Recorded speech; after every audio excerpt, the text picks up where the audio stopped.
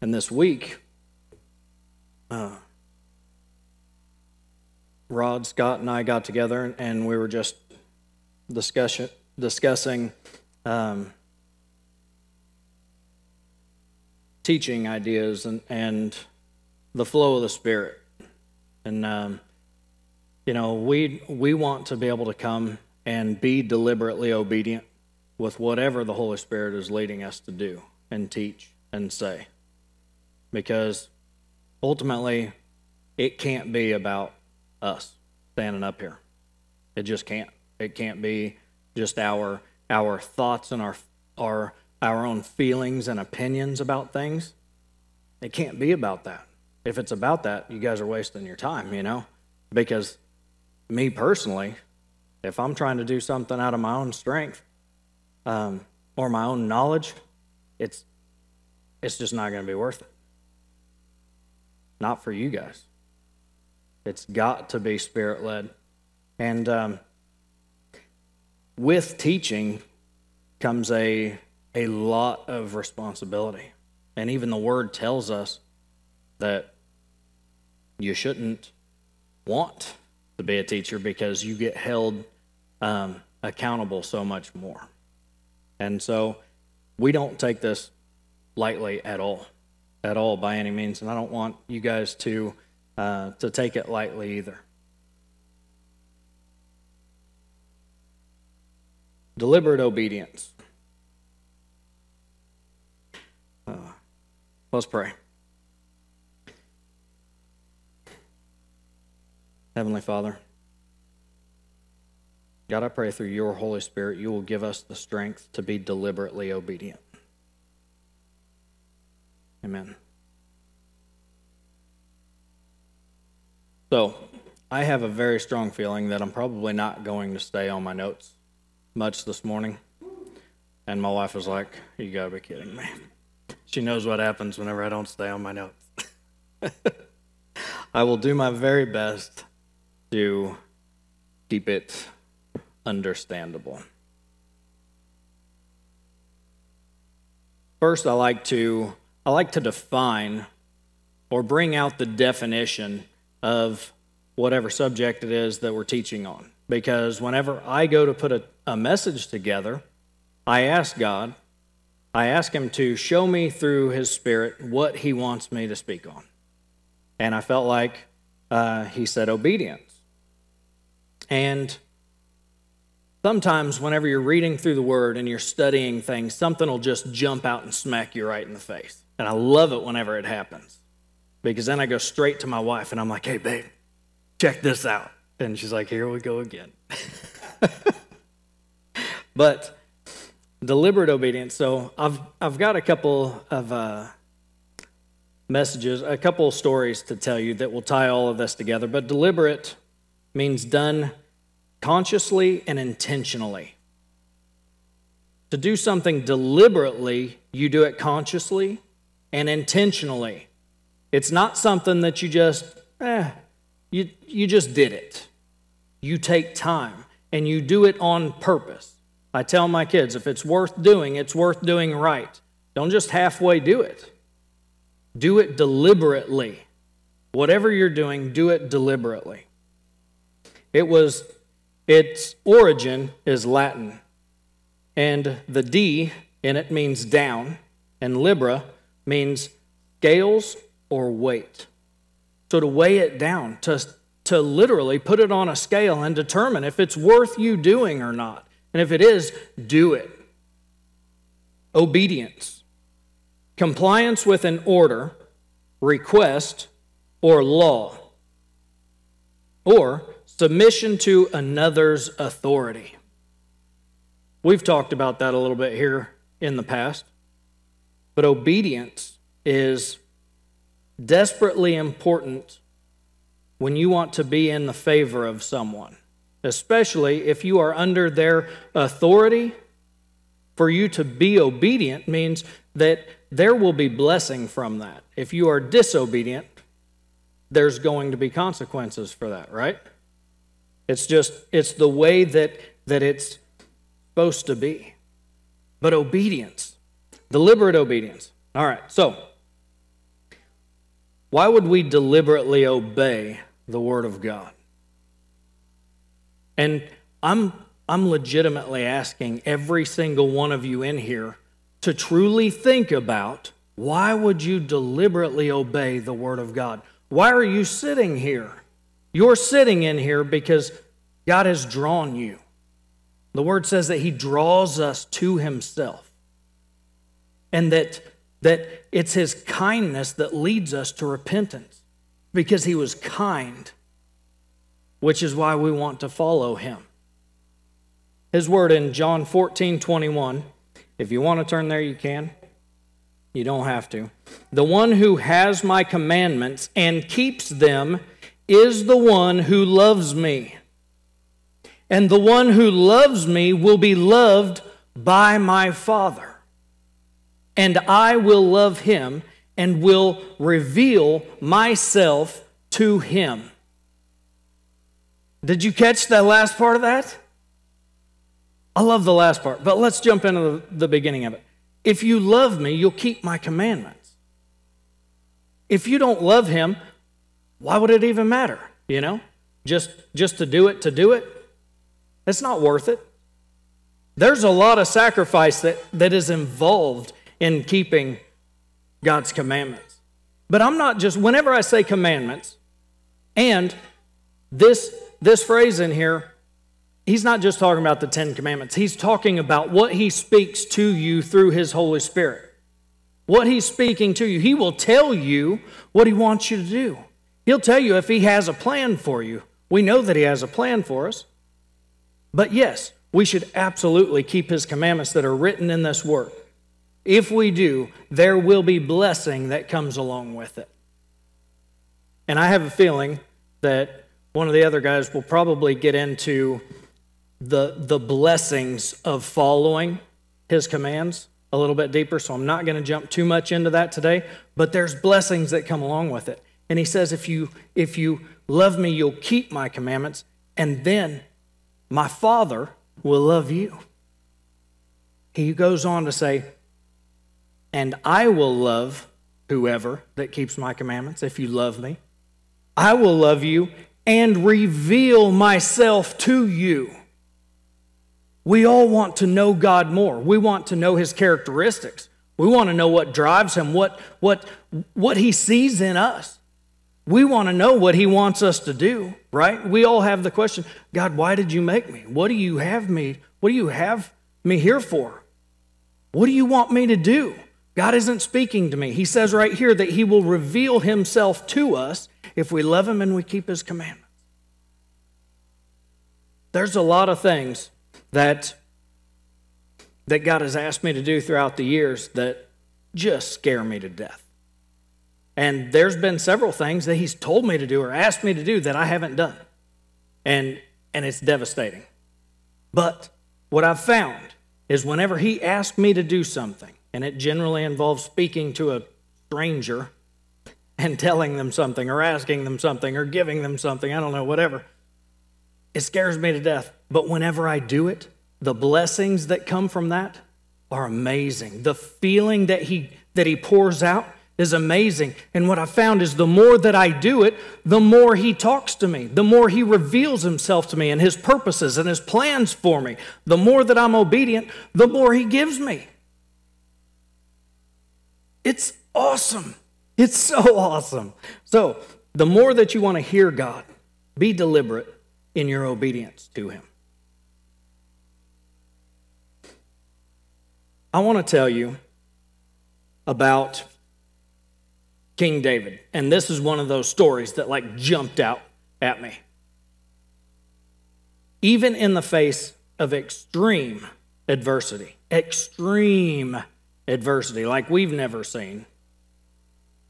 I can I don't know everybody's personal story in here, but I'm pretty sure they've never gone through what David is about to go through here. I'm going to kind of set the stage for you. So, this is while King Saul is still alive. And King Saul is hunting David because he knows David's going to be king. He can't stand David, right? He's tried to pin him to the wall with a spear a couple times. but uh, in, in my mind, I, I can kind of picture that because when I was in the Marine Corps in boot camp, this dude was supposed to be like standing by my lights. You know, we got drill instructors, they're telling you exactly what to do, and we're getting ready to go to bed. Like everybody's in what we call the rack. We're all laying there, but we've got one recruit that, that has to start out with fire watch at night. And he says, Stand by my lights. And when, when they give that command, the recruit's standing there and they're supposed to stick their arm out. And then he says, Lights, boom. And you shut them all off at once. Well, this drill instructor was especially good at his job. And, and he says, Stand by my lights. And this recruit goes, Click, and shuts him off before he says lights. And everybody else goes, Uh oh. We didn't say it, but we thought it. And this drill instructor starts screaming. You see the uh, flags over here? Well, we had these flags. They're called guidons. And they're on a flag post and they've got a pike on the end of it. And it's sticking in this uh, concrete base right next to one of the beds, the, the guide's bed, because he's the one that carries the guidon. He leads the, the platoon of recruits. This drill instructor goes over, grabs this guidon out of there, and chucks it at this dude. I mean, just barely misses him. It goes ping. We hear it just ping off the wall. I'm like, what? But whenever I'm reading this about King Saul and he's trying to pin David to a wall with his spear, it always reminds me of senior drill instructor Sergeant Varanus. Don't tell him I said that. He is, he's still, just the thought of him kind of scares me a little bit. You know, it's like, still, is he around? but uh, awesome dude. I love him to death. But so David is running for his life because King Saul has the entire Israeli army behind him, all of them. But what King David has is God, for one, and he listens to God. He loves God. This is after David was a young boy and killed Goliath, chopped his head off, and took it around with him. So he's running around with his 16 or 600 mighty men, and they're trying to avoid going into battle with the Israelite army. And he goes and he lives. He decides that it would be a great idea to go into the land of the Philistines. Well, Goliath, that he chopped his head off, was a Philistine. Everybody remember that? David decides to go live in the land of the Philistines to get away from Saul. He's like, he's not going to follow me here. And he was right. He didn't follow him there. But he's living in this town called Ziklag. And the king there is named King Achish. And David creates this friendship with King Achish, and King Achish believes that, that David's on his side. Like he's he's infiltrated right into their ranks. Like they're getting ready to go to war against the Israelites, and King Achish is taking David with him. David's killed so many Philistines at this point. It's just mind blowing. And in fact, while he was living in Ziklag, he would go out and he would raid all of these other villages and kill everybody and burn it and take all their stuff. Right there under their noses, they had no idea that he was doing it. He'd tell them, "Oh, I was out, I was out raiding the other Israelite tribes," you know. And so he totally had them had them bluffed, right? So then they're getting ready to go into war against the Israelites. And David is in the back with his 600 mighty men. And if you've ever read anything about his mighty men, they were the baddest of the bad. There's nobody as bad as these dudes. Literally, nobody living today could stand a chance against any of them. Guaranteed. So they're back there, and all of a sudden, the Philistine leaders realize that Achish is bringing David with his 600 men into battle with us in the rear. Well, what do you think's going to happen, King? He goes, they said, he can't come with us. And King Achish is like, he's been living with me for over a year, man. Like, I trust this guy. And they said, no, absolutely not. Absolutely not. So King Achish is like, okay, I'll tell him to go back home. So he tells him to go back home, and David's like, I was going to show you what I could do in battle.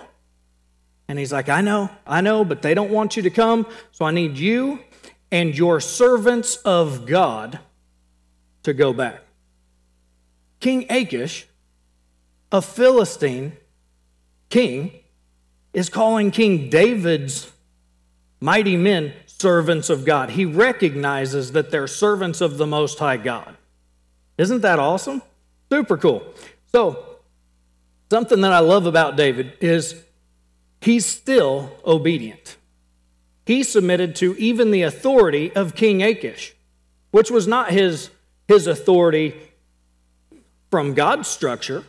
Saul was his authority from God's structure, and we know that he recognized that, but he was living in King Achish's land. And he was obedient to King Achish even. He even submitted to him deliberately. He was going to battle. I don't know. If he got to go into battle, I have a feeling David would have slaughtered all of them. Just because that was what David did. He was so, so awesome of a warrior. But nevertheless, he submits and he goes back to Ziklag. It says he got up early the next morning and went back because King Achish told him to get up early the next morning and go back. So he did. Something very interesting happened though, while David and his men were on the way to go fight in this war. Ziklag got plundered by the Amalekites, and all the mighty men and David were gone. So the Amalekites, they seize this opportunity, they go in and they kidnap all the all the women, the children, it says young, old, it didn't matter. Man, woman, child, it didn't matter. They kidnapped all of them, they took them captive and all of their livestock, drove them out of the city, and burned the city. They burned King David's town. This is a bad move. But where was King David going? He was going on his way to war. But while this was happening, Achish sends him back home. They get back home, they were three days away from home. They get back home. And whenever they show up, they realize that this, that this was taking, that this had taken place. And they are all distraught. Horribly distraught. So, I'm sorry, I forgot to tell you where we were at. We're in 1 Samuel. Um, them going into battle is in verse uh, chapter 29, but whenever they get back home is chapter 30. If you want to follow along and read through that, you, you can. I'm paraphrasing a bunch. I'm getting ready to start reading the actual text here shortly, though, because it's super important. So, 1 Samuel chapter 30, verse 1. They were, this is after they were sent back. It says, Then it happened when David and his men came to Ziklag on the third day that the Amalekites had carried out an attack on Ziklag and had overthrown Ziklag and burned it with fire. It also talks about them um, uh, overthrowing a few other towns, but that's not real important to the story right now. It is important, but not to what I'm teaching on. And they took captive the women and all who were in it, from the small to the great, without killing anyone, and drove them off and went their way. That's very important that we understand that they didn't kill any of them. When David and his men came to the city, behold, it was burned with fire, and their wives, their sons, and their daughters had been taken captive.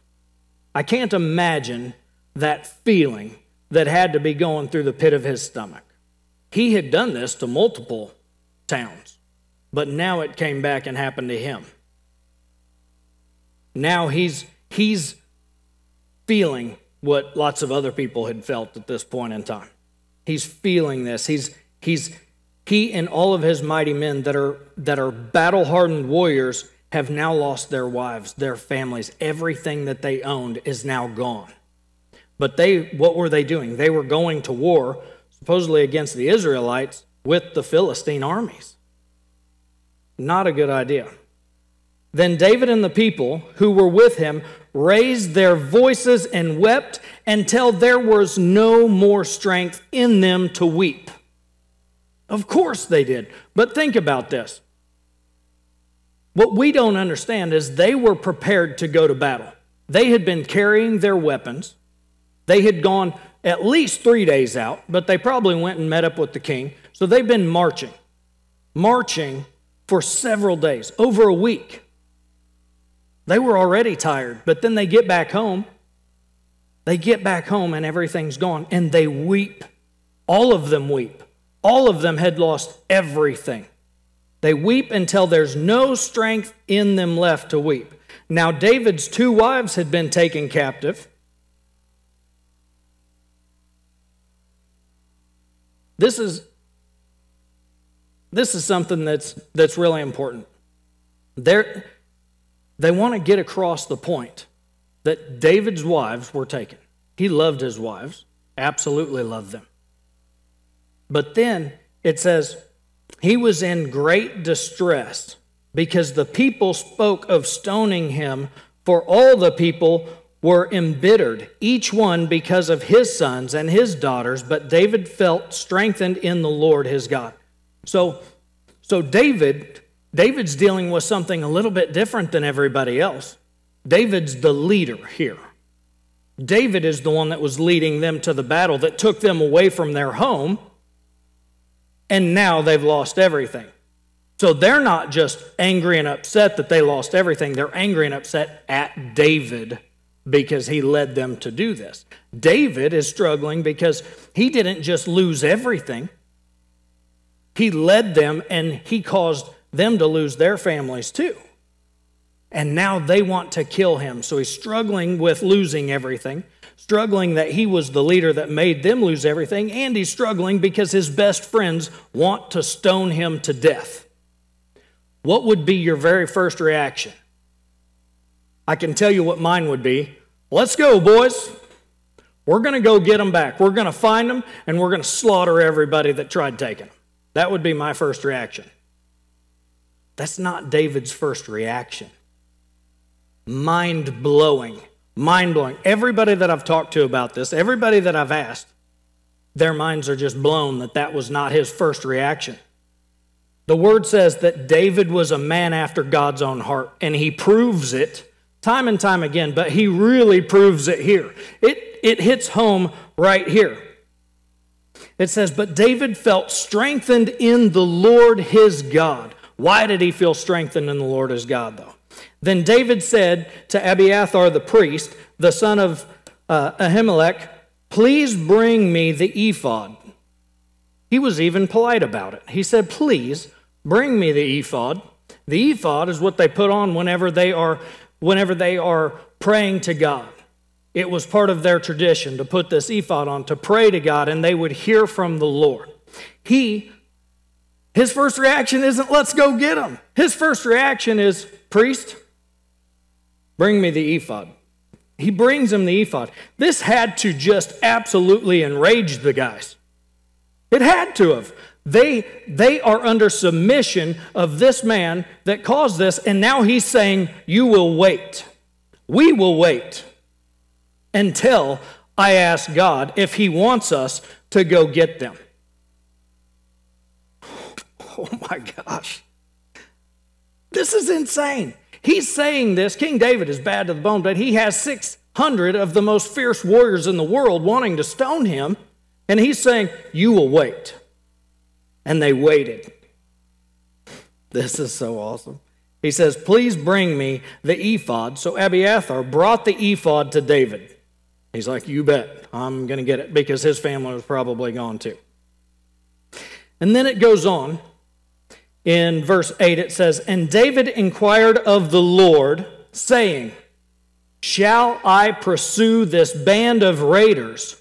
Will I overtake them?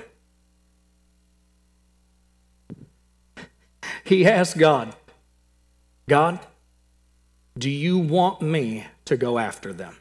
Or do you not want me to go after them? I will be obedient in whichever you answer. I don't know about you guys. I've ever since this started to sink in, I've been praying, God, please help me to understand to be that obedient. Help me in my obedience. Help me to be deliberately obedient that even if the worst of the worst could possibly happen, I have three daughters. The worst of the worst is not them dying. The worst of the worst is them being kidnapped and me not knowing where they are. That would be the worst torture that anyone could possibly do to me. I can, I can withstand a whole lot. I know because I've withstood a whole lot. I don't know how I would physically be able to, to bear up to that. And his family was kidnapped. And he didn't know where they were. And all of their families were, and they didn't know where they were. And his first response is God, do you want me to go find them or not? Because I'm going to be obedient in whatever it is that you want me to do. Life or death, not only my own, but also my family's. Whatever could possibly be happening to them, I'm still submitting this to you. I, guys, I'm still trying to wrap my head around this. Absolute deliberate obedience. But here's what I love. Here's why David could be deliberately obedient no matter what. No matter what, this is why he can be deliberately obedient.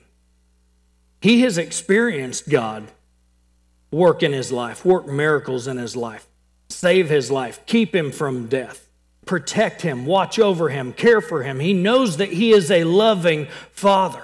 He knows that He is a loving and caring God that wants nothing but the absolute very best for him, and that's why He can do this.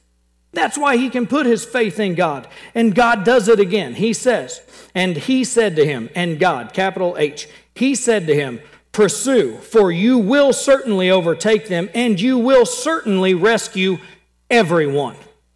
God tells him, You're going to go and you're going to rescue everyone. So let's read on. So David pursued, and he and 400 men, he took 400 because 200 of the most fierce warriors in the world were so exhausted that they could not go. So he took the 400 that were, had enough strength to at least get to the battle. He took these 400 men and moving forward, as they are going, as they're following the tracks, they run into this Egyptian. This Egyptian was a slave to one of the Amalekites. They run into this dude. He hadn't eaten or drank anything for three days. He's absolutely exhausted, um, starving of, of food and, and water. And they run into him and they ask him who he is, where did he come from? He answers and says who he is, and he, he tells them that they had been on this raiding party, that they had wiped out a bunch of towns. It wasn't just David's, but that they took everybody from Ziklag, all of them, took everybody. So David's like, Great, can you tell me where this place is? The man made a very good choice here in saying yes. Because if he, we all know what would have happened if he said no. So he tells him yes, and he takes him down there. He gives David some stipulations, and David says, Sure, I'll follow those. They give the dude food and water and everything. So, the man says, We carried out an attack on the Negev and all these different places. We burned Ziklag with fire. Whenever this guy's telling this story, he's saying we. David, you, you have to think, David's probably, his blood's boiling, and he probably has to keep these guys from from just killing him, you know, um, because he was involved. He says we. But anyhow, then David said to him, Will you bring me down to the band of raiders? Now, when he brought him down, behold, they were dispersed over all the land, eating and drinking and celebrating because of all the great plunder that they had taken from the land of the Philistines and from the land of Judah. The Philistines and the land of Judah. If y'all remember, Judah is an Israel tribe, an Israeli tribe. Um, and God doesn't stand for that. He doesn't take lightly to it. But they're all celebrating. They know the Philistines and everybody's off to war. So we're going to come in and we're going to capitalize on this moment. And so they're celebrating. Their guard is down. But little does he know, the most fierce warrior to ever live is watching them celebrate with his family.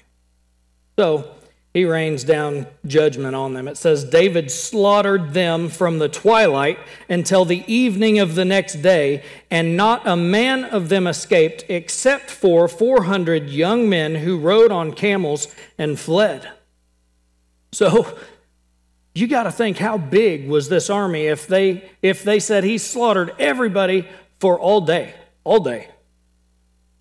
And only 400 of them got away. How many did David come with? 400. The 400 of God's appointed, of the ones that God had raised up. In Psalms 144 1, it says, Praise be to God, my rock, who trains my hands for battle and my fingers for war. God trained these men to, to be warriors. He trained them to do this, and they were very, very good at it. So, 400 of them wiped out everybody except for 400 young men, probably really young men, that jumped on some camels and beat feet. That was the best choice they could possibly make. So, they get out, but then check this out. 1 Samuel 30, verse 18, it says So David recovered all that the Amalekites had taken and rescued his two wives, and nothing of theirs was missing, whether small or great, son or daughter. Plunder or anything that they had taken for themselves, David brought it all back. So, what did God say? He said, Go, and you will recover everything. He was obedient. God said, Because of your obedience, I'm going to give you everything back.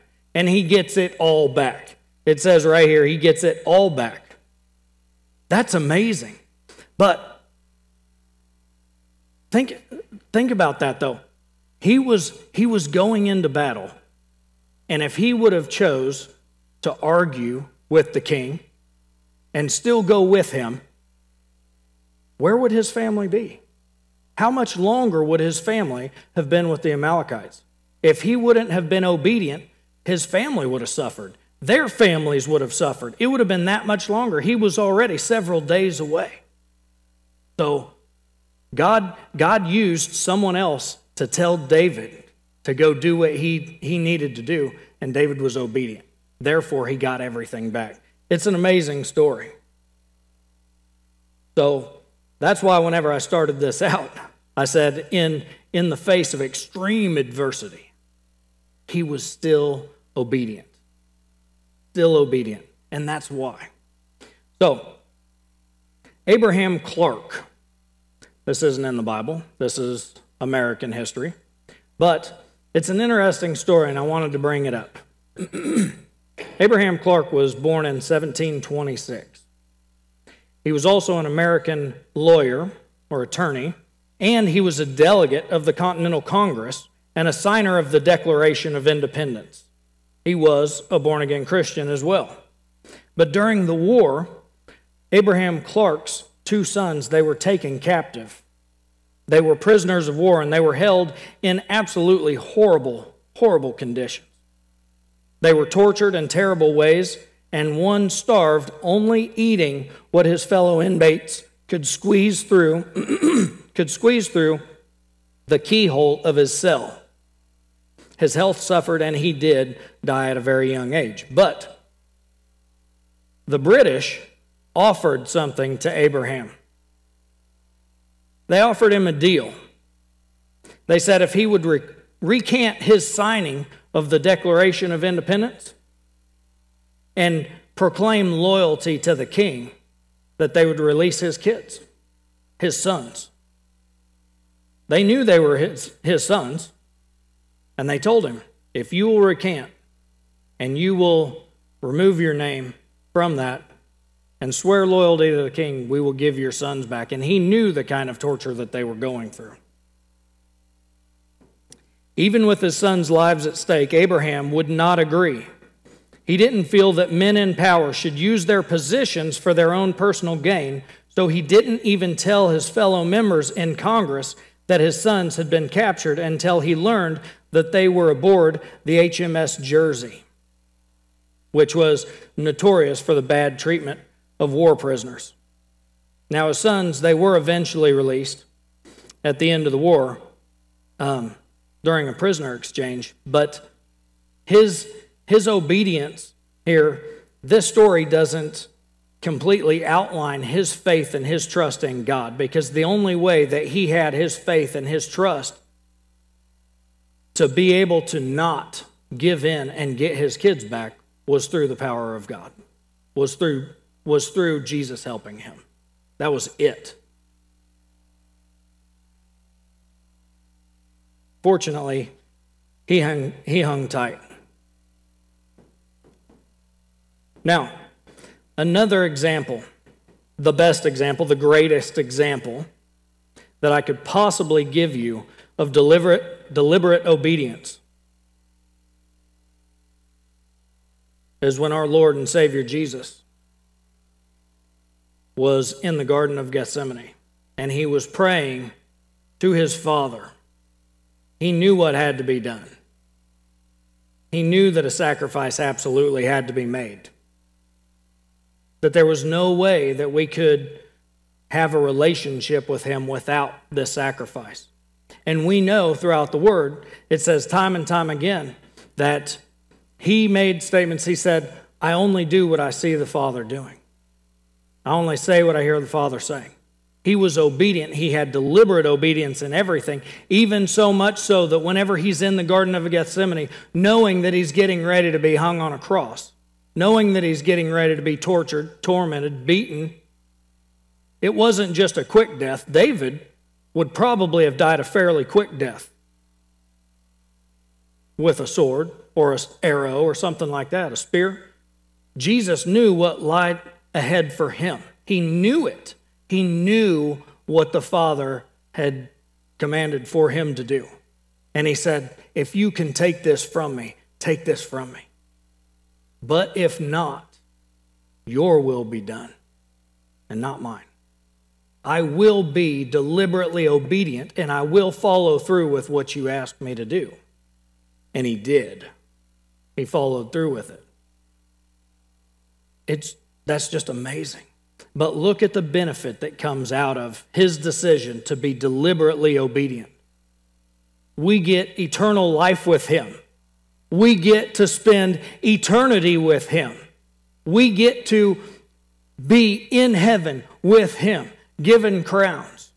We get to rule and reign with Him, which otherwise would not be possible, but because of His deliberate obedience. And what He asks is that we be deliberately obedient as well. If you love me, you will keep my commandments. If you do this, you love me. I'm going to love you, and I'm going to reveal myself to you. That's what he does. That's the gift that we get for being obedient. We get to spend eternity with him. The wages of sin is death. What death is, is separation from God, is ultimate separation from him. But when, when he did this, and he says, when, when you love me, you're going to get to be with me forever. This is crazy exciting. It's crazy exciting. And we get to serve together. We get to do this together. We get to be obedient together. Scott, what was that verse yesterday? Acts?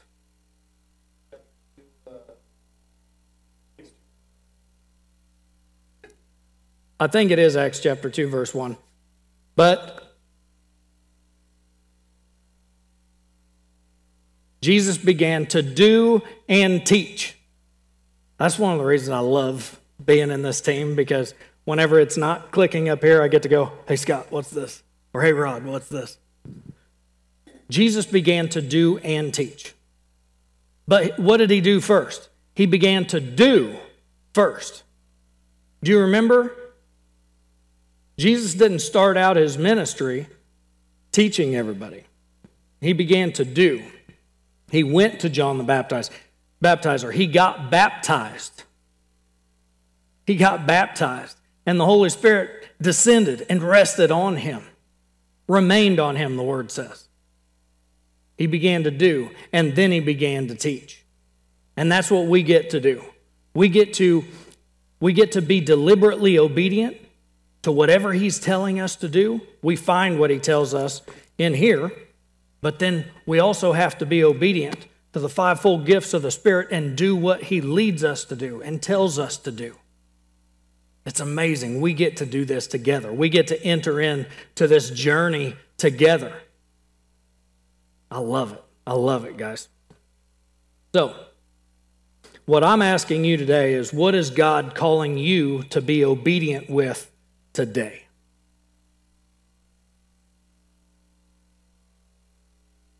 Take a minute and think about it. What has God asked you to do?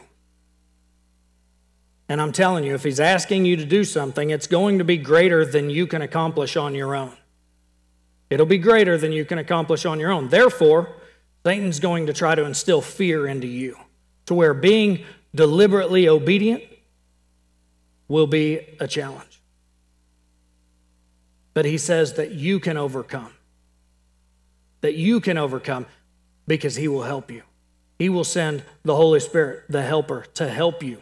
You can overcome whatever the challenges are. You can overcome the fear that Satan's trying to put on you because he doesn't want you to accomplish what God is telling you to be obedient to. He doesn't want you to be obedient. He wants to steal that from you, but not just from you, from whoever else would be blessed by what God is asking you to do. He's not asking you to do something that's only going to bless you. When you're obedient, it's going to bless everybody else that's involved. It's going to reach people that you will have no idea that it reaches until you get to heaven and God reveals it to you. He says, Here's your crown for being obedient here. And you're like, Whoa, I didn't even realize that. Satan does not want you to accomplish these things. That's why it takes deliberate obedience. Consciously and intentionally being obedient to what he's telling you to do. If you feel like, man, my life is bland, I just feel like I don't have a purpose. My friends, ask God what that purpose is. And whenever He tells you, even if it's scary, do it. If it's so scary that you're not wanting to do it, come to me. Come to, come to any of the elders, the leadership team, Rod, Scott, all of it. Come to us. We will come alongside you. We will encourage you. We will help you. And we will together accomplish what God has set in your heart to do. But, guys, the time of being stagnant and being disobedient is over. It's got to be over. We have to demand that it's over. If you want to see change, be the change. Be the change. That's what we are all going to collectively do. We will be the change together. You want to see this city taken? Let's take this city. You want to see this state or this nation taken? Let's take the state, let's take the nation. Step out. David said, Do you want me to go? And God said, Yes. And it's going to be a fierce battle.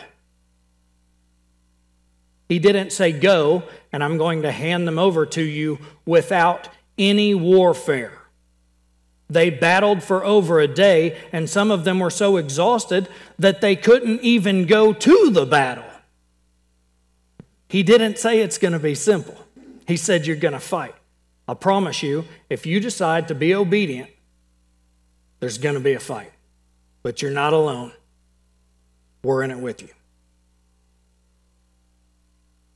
Today, there's going to be a baptism afterwards. I absolutely love baptisms. Don't I, Cheyenne? I love baptisms because it is being obedient to what God called us to do. And there's power in that. There's power in it. He says that He will come and make His home in us. Whenever we, we acknowledge Him in front of men, He will acknowledge us to the Father. And this, this is that act. It is going down, it is coming up new. It is power giving. I've watched several lives totally changed when they were obedient to baptism. When they were obedient to take that step, it takes you to another level. God has level upon level upon level upon level, stuff that we don't understand. that we don't even understand yet. Scott and I were talking the other day, and he was blowing my mind with these, with the different levels that God that God lays out in His Word that He takes us to, that He wants to take us to. There are levels that He clearly defines that you will get to.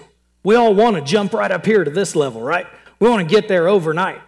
We're not going to get there overnight. It takes steps. It's a process. But that's okay. This this step going from from not being baptized to being baptized is amazing. And then you get that you get that energy and you get that rush of the Holy Spirit that helps you so much to be obedient. So then we're obedient and God just pours out even more onto us. It's amazing. It's so amazing. So, anyway, I'm so proud of you for getting ready to get baptized. That's awesome, man. Your life is about to change again. So, be ready for it. We're going to go ahead and wrap up, but if anybody has anything that they want prayer for, um, feel free to come and get prayer. Come grab us. You know what's interesting is the word tells us that we're struggling, if we struggle with uh, an illness, if we need healing, the word says, to come and get the elders of the church, to have them anoint you with oil and pray for you, and you will be healed, is what it says.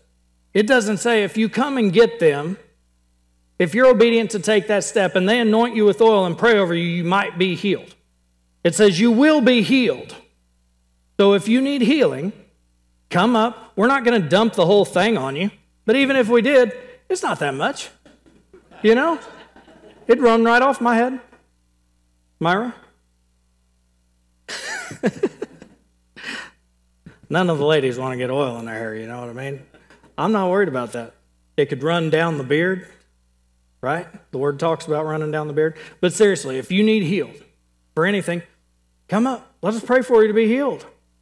You're not going to see God move if you don't take the step of obedience and let Him move. If nothing happens, you guarantee what will happen. If you refuse to act, what will happen is nothing. That's what will happen. God moves with your obedience. Be obedient. Let's play that music. Come on up if you need anything.